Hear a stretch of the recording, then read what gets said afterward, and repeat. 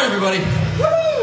We're gonna play an older song. It's a cover song, but it's a local cover song. So most of you don't know it, so we're just gonna say it's an original. You know, but he always says that, so that everybody knows it's not. So maybe we should just do the song.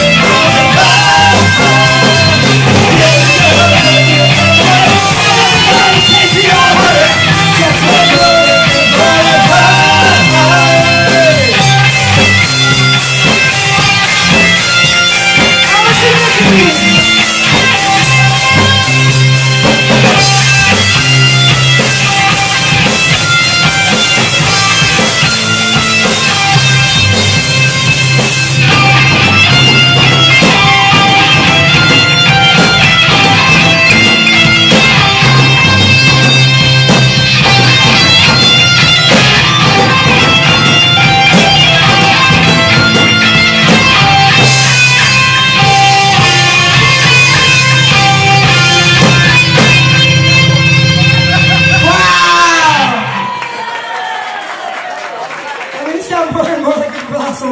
I hadn't played that in a while. I'm like, oh, please let me hit the right notes.